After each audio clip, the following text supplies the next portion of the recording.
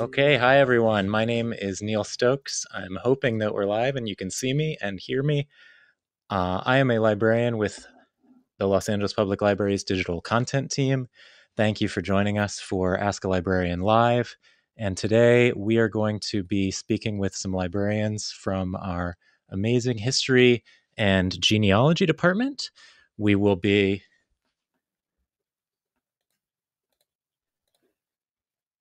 and um, I'm going to go to them now. So hold on just a moment. I'm getting a little bit of an echo. Let's bring in our, our guests.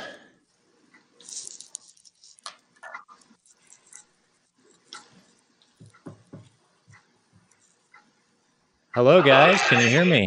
Hi, yes, uh-huh. Okay, Hello, so we are joined. Do you guys uh, want to introduce yourselves? Uh, Kelly, maybe first. Hi, I'm Kelly Wallace. I am the California History Subject Specialist at Central Library. I want to thank everyone for joining us today. And I'm Julie Huffman. I'm the genealogy subject specialist at LAPL. How about you, Glenn?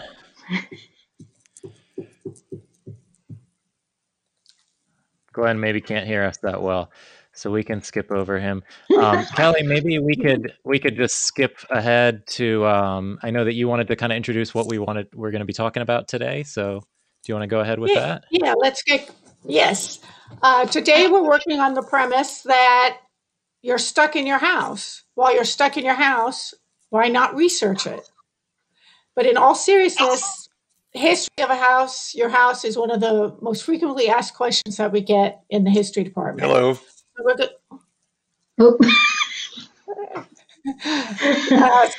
so we are going to show you uh, some of the resources that we have that will help you research the history of your house. We have a lot of information to cover, so let's get going. We have created a research guide for the, finding the history of your house, and let me show you how you get there. And I'm Glenn Crease, and I'm the map. I'm the map librarian and also the official librarian dinosaur. Hey, And Glenn. uh, Julie and Glenn, you guys can jump in anytime if you have a comment to make or I make a glaring mistake. Uh, you may have noticed that we have a new interface for the period that we're in, the library at home. Uh, let's scroll down to research. Click on research. Things are located in slightly different places now. Okay. Over here on the left, it's an alphabetical list. Let's scroll down to research guides. Click on research guides. There we get another alphabetical list. Scroll down to history of your house, searching for. Let's click on that. All right, here we go. We have a lot of links and information here. We're not going to cover them all. We're going to hit the highlights and we're going to try to highlight um, sources that you can utilize while you're at home. Um, county, city offices that are closed right now. So we're going to focus on things that you can use right now while you're sheltering at home. First thing I want to hit is number two Department of Building and Safety. You can oftentimes find the, uh, as it says here, the construction date of the house and sometimes the name of the contractor and the architect, original owner, etc. So let's click on the link. It's very easy to use. We're going to search by address. Let's click on that. And it tells you the format to use. It doesn't want any periods or symbols.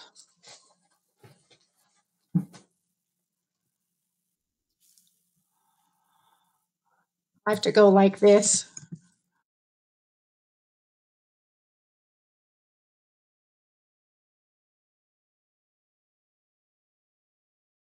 All right, there's the address I put in. 605 South Irving Boulevard. That's the one I am interested in, so I'm going to check in the box, then hit continue.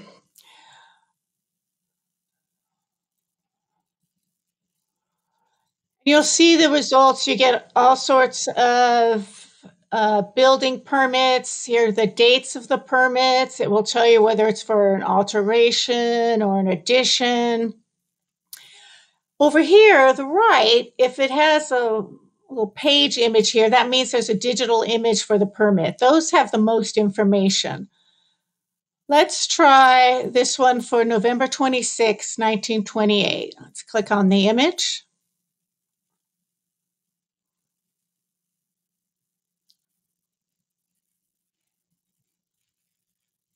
All right, here we go. And you'll see has information. We scroll down. It's not the original permit, but here it has owner's name, Mr. L.M. Lockhart. And then down here it says what they're doing. Their first floor toilet is going to be moved back six feet. There's going to be a new stairway to the basement, relocation of furnaces, etc etc. So that that's the kind of information you can find on these building permits. And sometimes you get more information than others.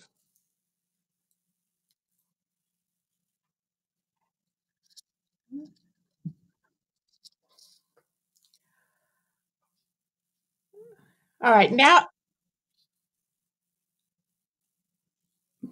I'll wait till the message ends. Okay, now I want to show you the California Index.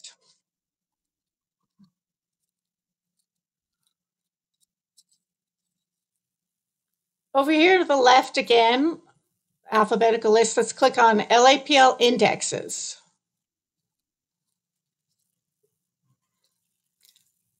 Scroll down to California Index. For those of you who are not familiar with the California Index, it is your go to resource for local history. It's an index we put together that um, points a person to books, newspaper articles, magazine articles, photos, and clipping files that we have at the Central Library that are related to people, places, important events uh, in the history of California there is an emphasis on Southern California. The index is unique to LAPL. We created it in house and it's free and accessible to everyone. So let's get started. We're using 605 South Irving Boulevard today as our address. You'll see why in a moment. Okay, let's put that in. We have three results. This first one says residence Los Angeles mayor's residence. So that's what we're using today as our address for most of our examples is the mayor's mansion. You'll notice this record is a citation. It points you to an article in the Los Angeles Times that ran on October 13th, 1995. So let's make a note of that because we'll look that up later in the Los Angeles Times database. Let's keep going and look at the other records. This is an example of a old-fashioned catalog card entry the librarians back in the day made. Uh, these have been scanned and entered in there. But look at, there's a lot of information. This one tells you it's 14 rooms, an acre of land, French colonial, gives you the number of square feet, the third record's interesting because it relates this residence to Lee Strasberg, who you may know as the he was the acting teacher, creator of the method. Uh, it says here the mayor's mansion was formerly the residence of Lee Strasberg. And then notice down here it says see California room vertical file under the heading Residences Los Angeles Mayor's Mansion. That shows you that we do have a vertical file. Those are old fashioned vertical files with clippings. You cannot access them right now because they're in the history department at Central Library, but they're a wealth of information. All right. So now we notice up here mayor's residence. Well, let's try searching under that and see what happens. All right. Same thing. I'm going to go since I have it here already. I'll just put that in. All right, we have 10 results. We have a few more results when we search by mayor's residence. Uh, I want to just scroll down.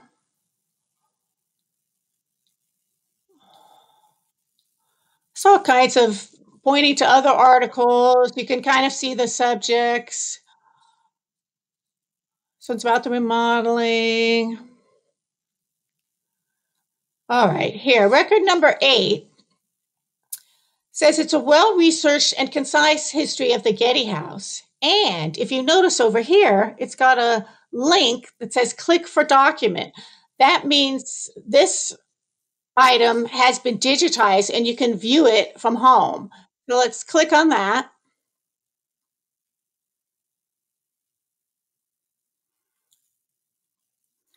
Here we go. Let's scroll down. And it's lots of information. You'll notice here the lots originally purchased by Mr. and Mrs. Paulson. Gives a little bit of history of the area. Wilshire Boulevard had been a dirt trail. Keep going. The Lockharts, we saw on the building permit, are mentioned here. They bought the home in 1928. And then down here, it's kind of interesting. There's a little bit that John Barrymore and Dolores Costello lived in the house. And it's kind of a sordid tale.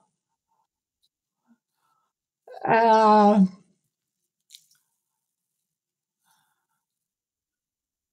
yeah, they. Uh, he met Dolores when he was 43 in their 20s. He was still married to his second wife. Her father didn't approve of it.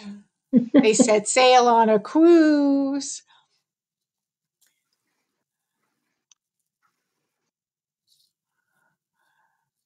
They got married. Their rocky marriage lasted despite drinking spells and long absences. Slugged her, broke her nose. She left uh, here, collected her belongings most of the furniture, and moved with her children to 605 South Irving Boulevard.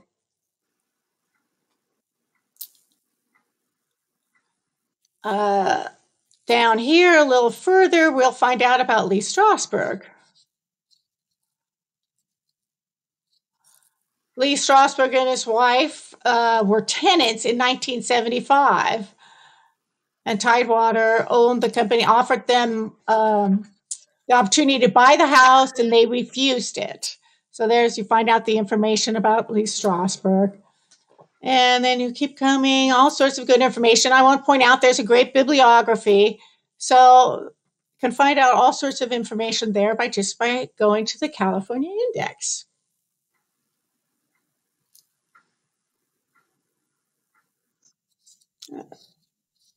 Let's click that.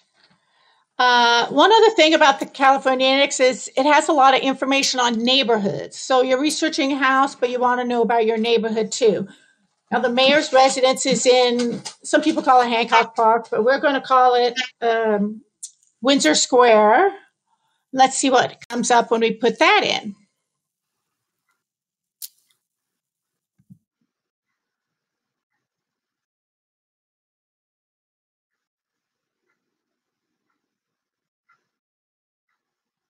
Right, Los Angeles Windsor Square. Right here, first record is another uh, item that's been digitized.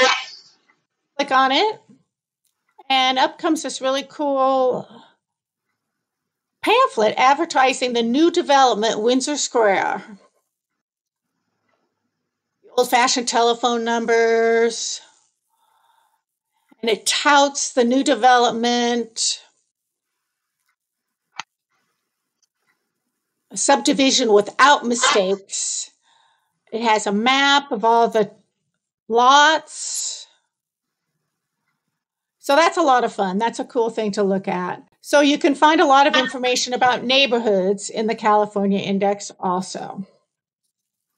Okay, let's go out of that. Oh, that's my other one. So now let's um, search the Los Angeles Times.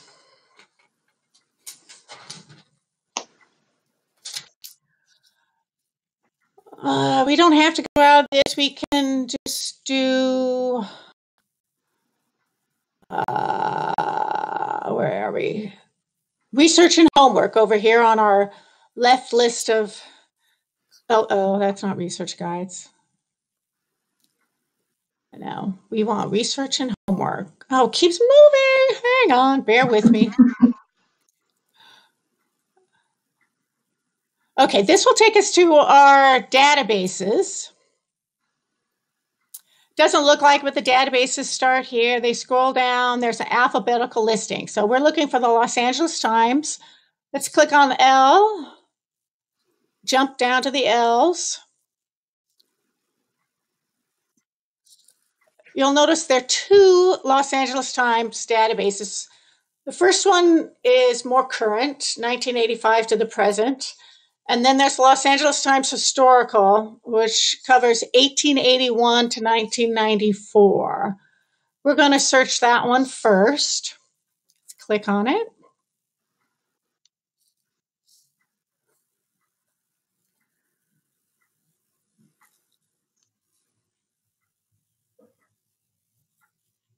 Here we go. I don't know why I keep getting this, but that's all right.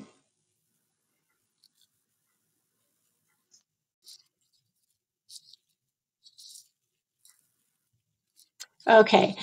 I always recommend going to advanced search, so let's just do that. You don't really need it in this case, but all right. Since we want to search for the address together, we're going to put quotation marks around it. Otherwise, it'll look for 605 over here and Irving someplace else.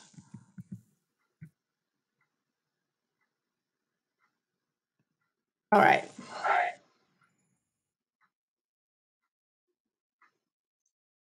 Oops, I put a comment. I think let's see.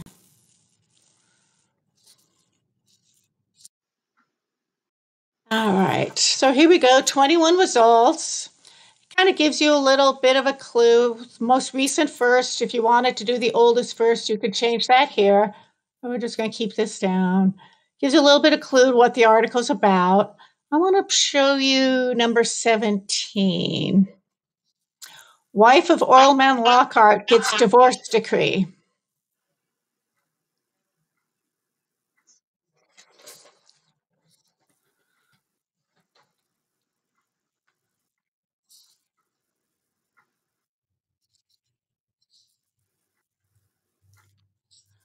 So this is interesting. The Lockharts, we know, bought the house in 1928. But here's a story that Mrs. Lockhart is getting a divorce from her multimillionaire oilman husband. But this is the part I like. It was a settlement, she said, that was realized despite threats on Lockhart's part that she would never get a penny from him if she didn't walk out of his 29 room home like a lady. Eek. Please walk out of my house like a lady and don't make any demands on me. I'm like, Oh boy. yeah, exactly. All right. Let's go back.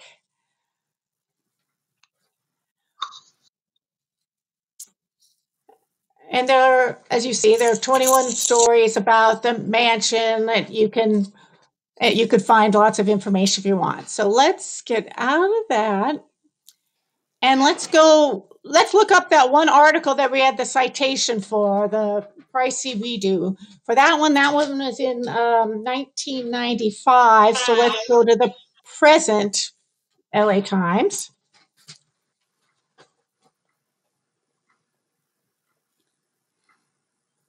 Advanced search. With the advanced search, you can pick the date, and we know what date our story ran. So let's click on this date October 13, yeah, 13, 1995.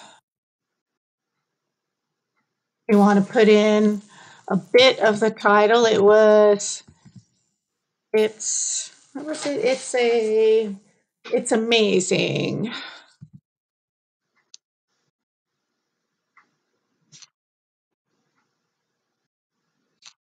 Quotation marks again, so it looks for that phrase together. Let's click search. Hmm.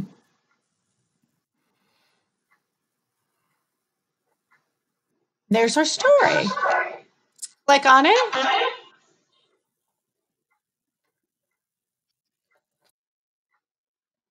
I want to look at the full text PDF.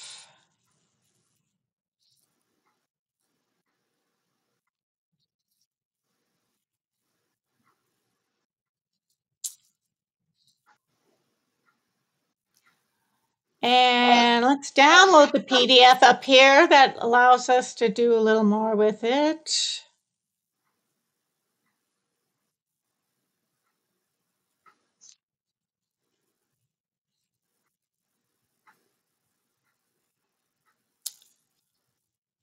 Mm, Well, let's just do this.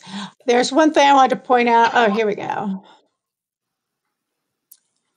In this story, it's talking about the um, renovation that was started by uh, Mayor Riordan. He was not living at the house at the time, but it has a lot of little fun facts. I like this part down here. Let's make it a little bigger.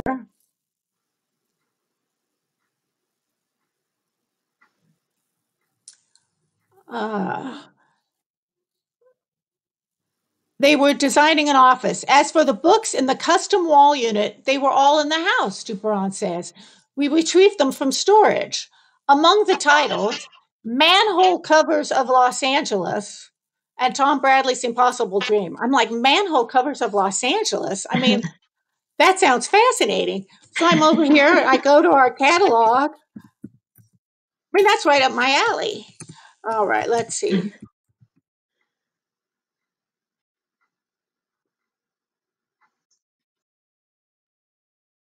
There it is. Click on it. So uh, we have two circulating copies in the science part. You, you cannot access them now, but maybe when this is all over, you can come in and check out Manhole Covers of Los Angeles. I thought that was kind of fun thing for that article. Yeah. Uh, that's what I thought. Okay. All right. Um, that's it for this first section. I'm going to come back in later uh, at the end. But now let me turn it over to my esteemed colleague, Julie Huffman. Thank you, Kelly. Thanks. Um, okay, so I am the genealogy subject specialist, and you might wonder, well, what does genealogy have to do with looking for the history of a house? But um, of course, people live in the house, and genealogy is all about finding people, usually dead people, but um, not always. So we have a couple databases that can help you do that, not just trace your own genealogy, but help you trace your house. So using um, some of our databases, I'm going to go to the same area, which is kind of the, the nice spot on our website where you can find all of our databases, the alphabetical listing of them. And uh, the first place I'm going to go is we have a group of digitized city directories. Now, city directories were the precursors to today to phone books. Um, only they included, they usually included a little more information like the name of your spouse, what you did for a living, where your business was. And so Los Angeles has a good collection of city directories. Um, the last one that was published was 1942, and we have most of them digitized on our website. So if you scroll down to city and street directories digitized and click on that, you can go in and see what we've got. So there are two groups here. One, we have the city and business and phone directories. We have one phone book, basically, but um, more hopefully down the road. And then street directories. Now, these are directories that are organized by address. So they are perfect for searching for the history of your house because you look up the address and then it tells you who lived there. But because these are digitized, you can also use these city directories in kind of the same manner. They're organized by name, but the digitized um, aspect of them lets you search using keywords. So this is um, our collection of city directories. There are 142. Um, in addition to Los Angeles, we have some other areas, um, neighborhoods after 1942. This one is the whole state of California. But what I'm going to do here is a simple search, which is going to look through all of them at once. And so what you do now, I might tell you this is a very literal search. So you have to be careful. You have to experiment a little bit because not everything um, works perfectly when you're searching by address. But I'm going to just show you an example. So this is the address we've been using, 605 South Irving. Now you'll notice I have my S in here. It doesn't have a period after it. I am just guessing that's going to be the way it's listed in a city directory. I might miss some of the listings that say 605 South Irving, but for this example, we're just going to start with this. Now I'm going to search through all of our collections, including those reverse street directories. If I say search, we'll see five come up. Now I'm certain more listings for the people living at this esteemed address would have shown up in many of the city directories from 1873 to 1942. But let's just go with these for now. I'm going to click on the um, 1932 directory, and it's going to show me where those keywords, it's a phrase, 605 S. Irving showed up. Happily, in this database, it highlights what you what you put in. So this one, we'll see is basically someone who's an employee at the house. This is Tina C. Uh, Tina, and if you go up here, you'll see the surname Anderson. So Tina Anderson was a maid at 605 South Irving. If I click on this little arrow here, it's going to take me to the next hit. There are three hits in this book that have that address. Now we'll see Gus Gartner was the chauffeur. If I click for the next hit,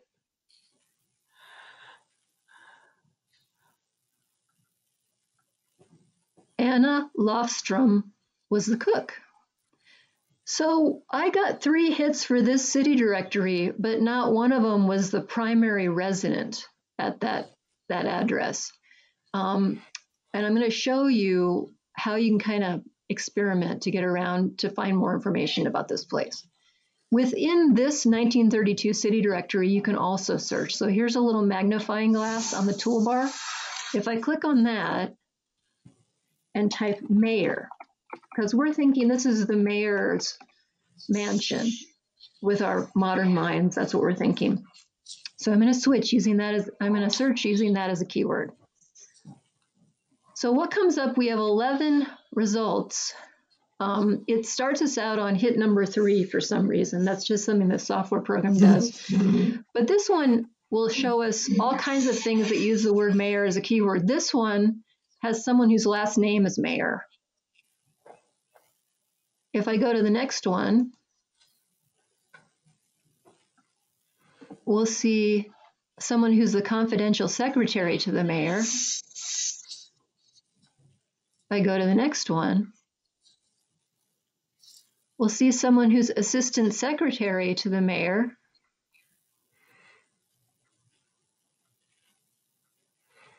And this next one actually shows us the mayor. so this is oh, John C. Oh. Porter, who in 1932 was the mayor of the city of Los Angeles. this Maddie Lee here, that tells us his, his wife's name. So his wife was Maddie Lee Porter. 105 City Hall is the address of the mayor's office. And look at his home here in 1932 is 815 Lorraine Boulevard. So in 1932, that 605 South Irving address was not the mayor's mansion. Now, if I want to really dig around some more and try to see if there are any other addresses or any other people tied to this 605 South Irving address, one thing, when I said it's a literal search, I'm going to show you this. See how some of these addresses here um, have an H in front of the house number or an R in front of the house number. That usually means um, householder, like the owner. The H is, is the householder. R is resident or could be renter. Um, basically, I just look at it as like H is the person who owns the place and R is someone who lives there. Sometimes, because this is such a literal search software program that it uses, um, you have to put these letters in front of your address. So let me, here's our address, and what I'm going to do is put an R in front of it just to kind of play around with that idea. And if I say search, it turns out I do get one hit. And so this is going to tell me something else.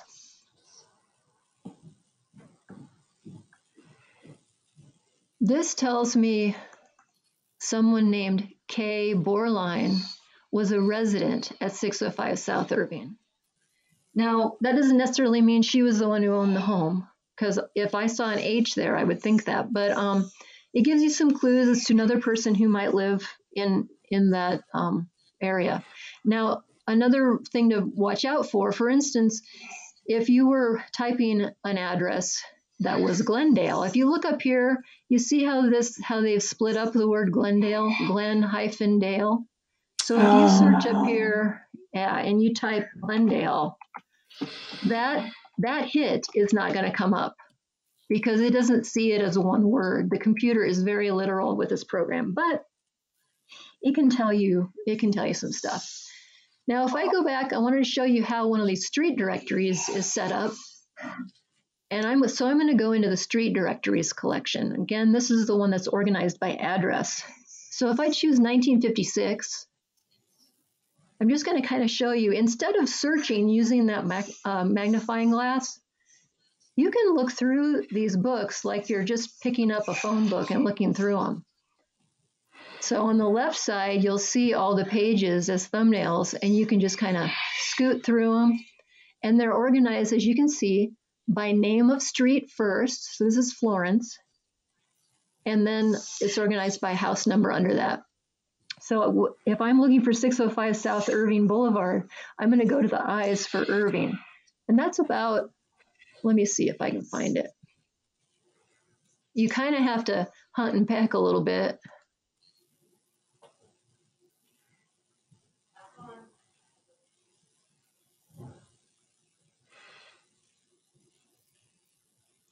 And I'm just kind of going alphabetically until I think I'm going to hit Irving.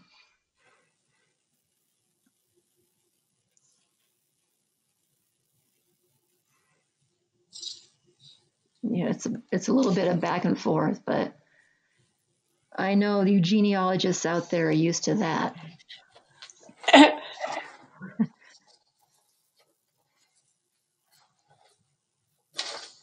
All right, so I think we're close here. Okay, so here we see Irving Boulevard South. And there's an Irving Boulevard North, but this address, 605 South Irving, we know we want this. So I'm going to look over here for 605. And if you go down the list, ends at 454. So I'm going to go back up. And here it is. So if I zoom in on that, 605 South Irving, oh, we see an L.M. Lockhart happens to live there in 1956. So these digitized city directories are a good way to sort of track people through time. Another thing you can use to uh, figure out who lived somewhere is Ancestry.com. And happily, um, ProQuest and Ancestry have offered remote access during this time of quarantine. So if you have one of our library cards, you can go into this list of databases, click on Ancestry Library Edition from home, and use it. And I would really say do it because it is an expensive database. And so if you have this opportunity to play around with it and not just research your own um, ancestry, you can do all kinds of fun things with it. So I'm going to click on it and get into it.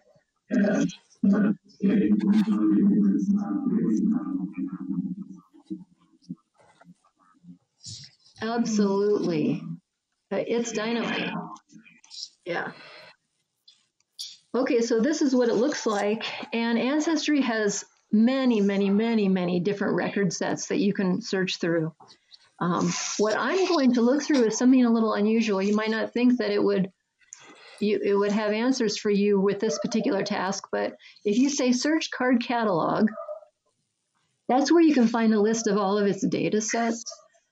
But one, the one we're going to look for is the California voter registration list. And you're like, well, what on earth does that have to do with researching the history of your house? Well, if I type keywords California voter in the title, two sets come up, one 1866 to 1898, but I'm going to try this more recent one. So you click on that. And now this is one of the data sets where you can actually search using keywords pretty effectively. Sometimes Ancestry's data sets don't let you do that, but this one's a good one for it. And I usually like to click this match all terms exactly box. And it is a little buggy. I never put my city in here. For some reason, that doesn't bring anything up, so I leave that blank. And here in the keyword, what you want to do is put in quotes the address you're looking for. Now, 605 South Irving is Boulevard, South Irving Boulevard, but I'm going to leave Boulevard out of this search because Boulevard can sometimes be abbreviated in really wacky ways like BLVD or just BVD, so I'm going to leave it off completely. Now I'm going to click search.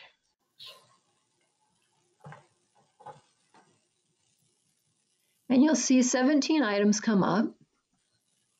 But these tell us people who registered to vote in these years who happen to be living at that address.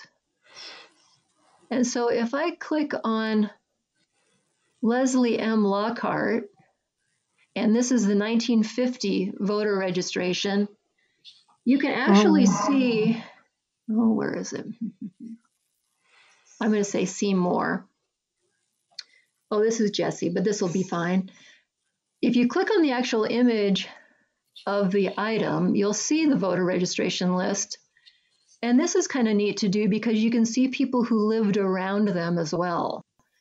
Um, let's see here. Okay, here's Clarine Lockhart. My, uh, you won't, I don't think you can see my mouse on this screen, but at the bottom of the second column is Clarine at that address. And then at the top here, we see Grace Lockhart, but she's at a different address. But we see Leslie M. Lockhart, 605 South Irving Boulevard. D means he's a Democrat, just in case you're interested in that. And then Republican. And then DS is declines to state. So you can kind of see who all the neighbors are too, as well, um, for this uh, 1952 voter registration list. So that's kind of a cool thing. And also one one other example of how it pays to experiment with how you search. This one I did, you put an S in there for South Irving. But if I take that S out,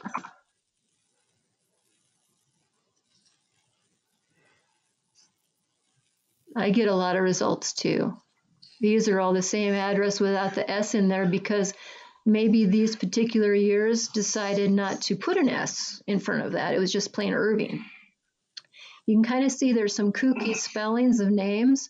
That's because they're using an optical character rec- recognition software that has kind of goofed a little. But if you just click on this view record, you can see the actual um, record and see that it's not necessarily um, someone who's spelled like a kooky way.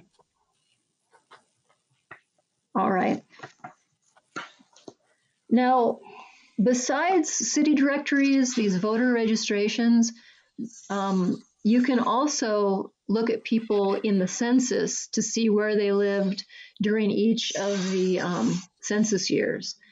1940 is the most recent census that we can access um, as far as individual records go. The thing about the census, though, is that you can only search on these big databases using a person's name or other things like that, but you can't search by address. You can get around that though. There is a website that's really handy for figuring out where a certain address is in a certain census year. And it's called Steve Morse, and he's wonderful. He's uh, one of the great, great people in genealogy resources. Steve Morse, what I do is I go to Google and I just type in Steve Morse enumeration district because all of the census director censuses are organized by enumeration district. But you don't know off the top of your head where 605 South Irving Boulevard falls in the enumeration districts. So this um, website that Steve Morse put together helps you find that. And if you click on, on his link here, you'll see up at the top you can search by address for all these different censuses. It's not all of them. Censuses go back to 1790, but not all the censuses had addresses in them. So if we start with 1940, all you got to do is put in your location here. I'm going to do it kind of quickly, and if you need a refresher, just come back and watch the recorded version of this.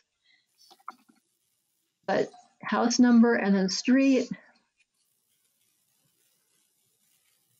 You can see down here all the different census pages that come up. That's too many to go through one by one. So we're going to filter by street.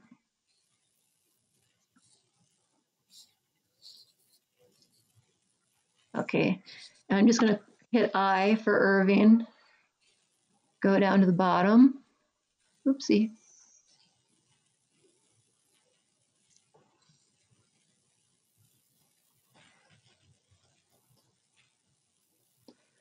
Irving Boulevard. And you'll see now we've got one, two, three, four, five, six different um, parts of the census to go through. That's still too many, in my opinion. So if you go to Google and you type in the address, you can find its cross streets. So it's between 6th Street and Wilshire Boulevard. So I'm going to go back here and I'm going to put that as cross streets. 6th Street and Wilshire. And then you see it pinpoints it to one census page. So I'm going to click on that. And I brought it up before. What you can do at this point is click on Family Search Viewer for a free, um, Family Search is free to everybody, and that will show you the page of the census from home.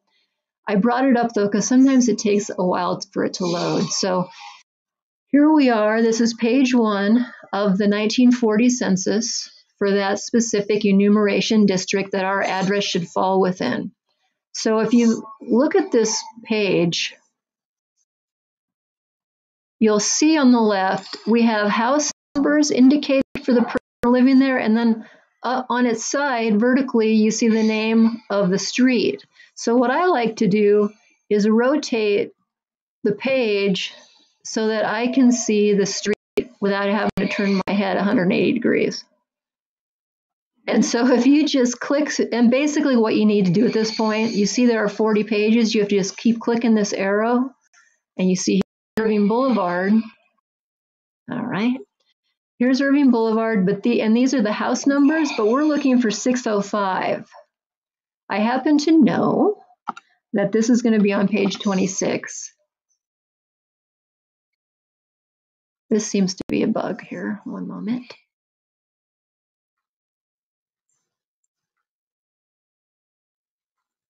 Oh, for crying out loud.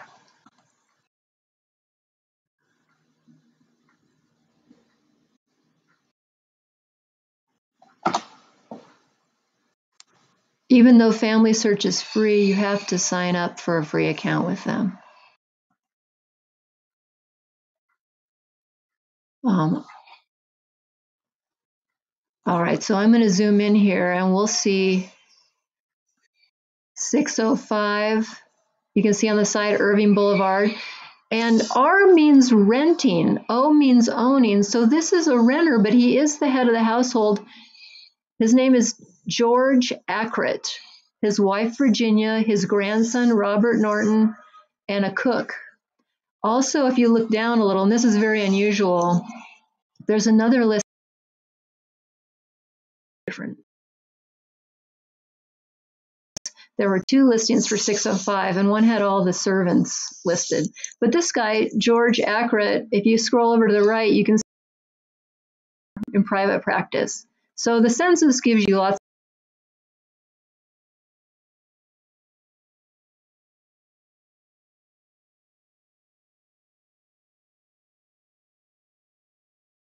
You have access to probate records, and that might be of interest to you who are searching for wills or that sort of thing.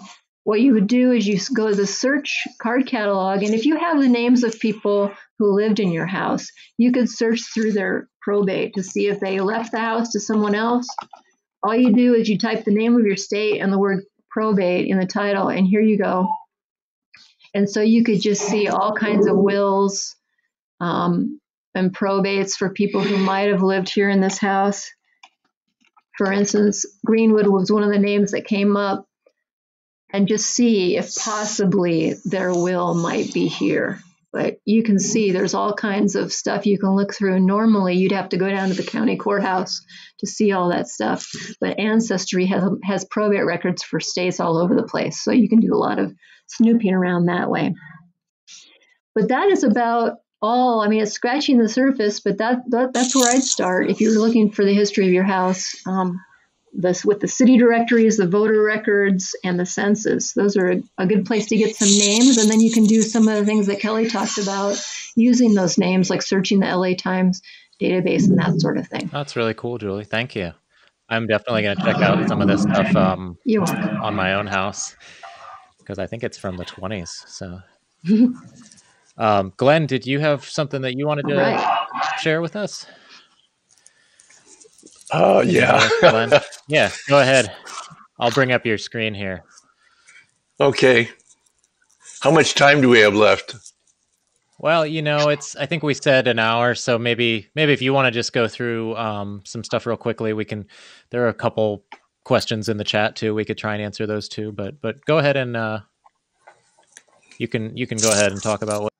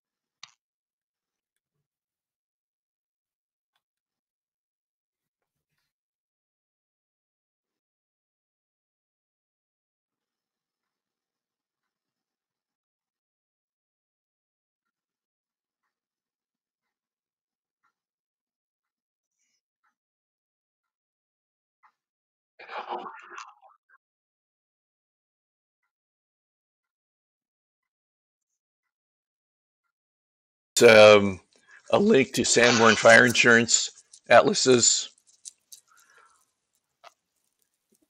Within this, you can go down, and we have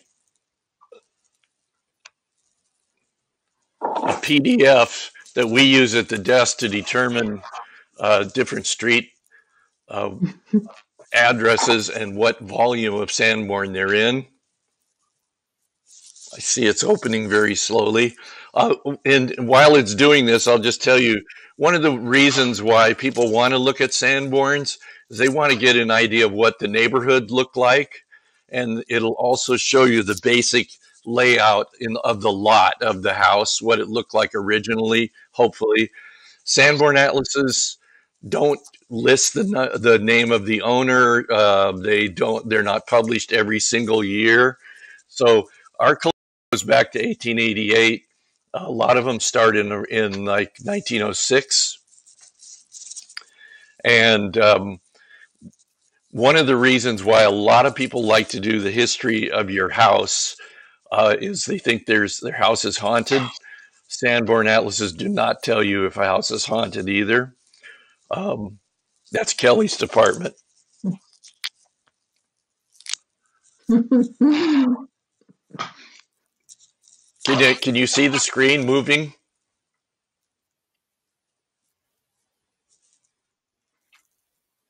Are you still there? Can you hear us, Glenn? Well,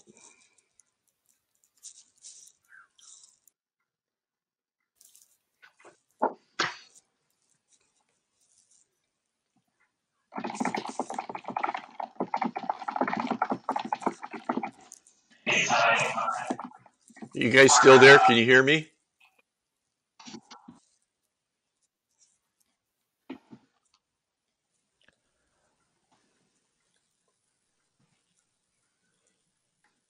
I can hear you. Can you hear me? Yeah, we can hear Yeah. you, Glenn. Yeah, can you hear us? I think maybe Glenn's on a bit of a delay. So, um, you know, what I was thinking is we could actually, since we were having trouble getting to those Sanborn maps, um, I Glenn, if you, you. just wanted to say a few words, you know, just Dave, quickly gonna, about I'm gonna abort not. that mission. Yeah. Board. D- did you have anything else you wanted to say about those maps, Glenn, real quick, and then we could just see if there's any uh, kind of outstanding questions here in the chat. Okay.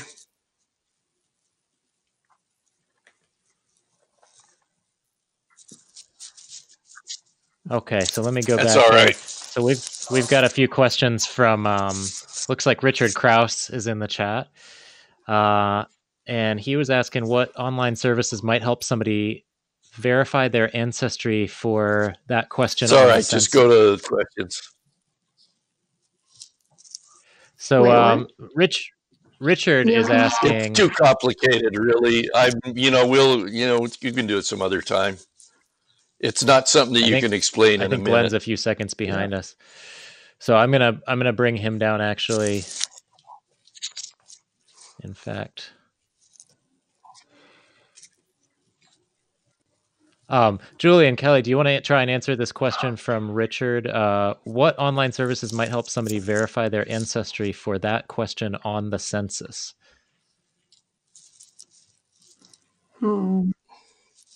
Oh, I know what you're talking about, Richard, because I think you mentioned that you had to do this when you filled out the census this time around. Well, boy, that is a toughie because um, I- uh, that's- one, you could that's do one Julie's of the commercial question. DNA tests, and um, you could do a DNA test uh, using Ancestry.com or Family Tree DNA or 23andMe. Um, if you do the nuts and bolts of genealogy research and find a passenger list record or a naturalization record using Ancestry.com, usually you can then see what country your ancestors came from. But it's not a quick answer. Uh, generally, I imagine for that census question, if you've never done any genealogy, you're probably just going to answer what you see in the mirror or what you've heard your family say that you are as far as ethnicity.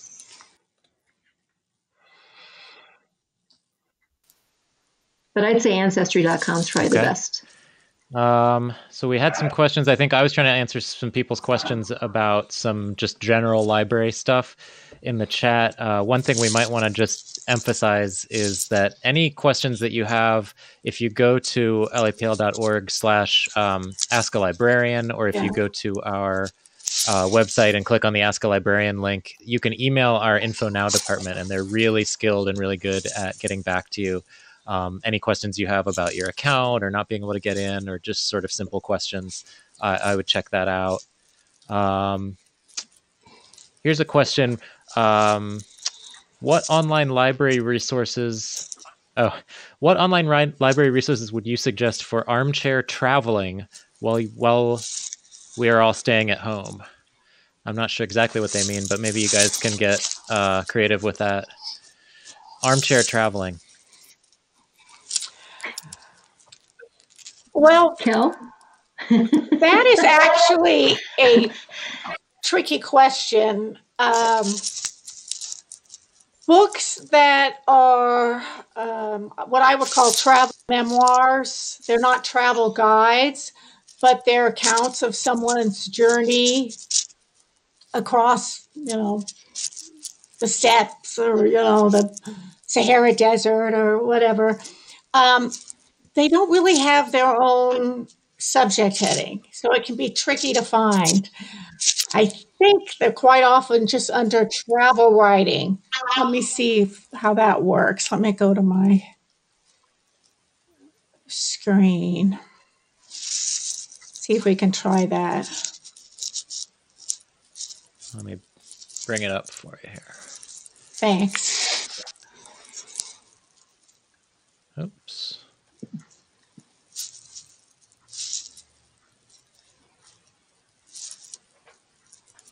I know um our colleague did a blog post. Um, Well, there's lots of ebooks.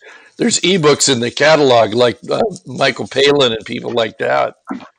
Um, Bill Bryson, that you can listen to, you can download. Just try this. I'm If you want to see maps, you can go into uh, research and homework and look at A to Z maps.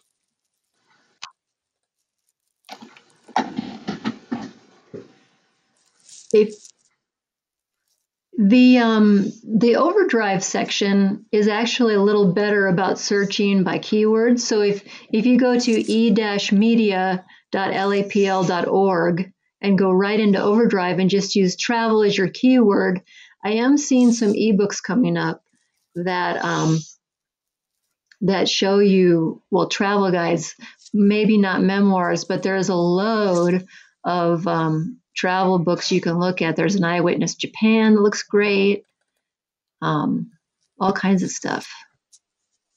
Just and I think that that um, that database might be better for searching uh, for travel books. I just used the keyword travel and a lot came up. Yeah, so that's on our uh, lapl.overdrive.com.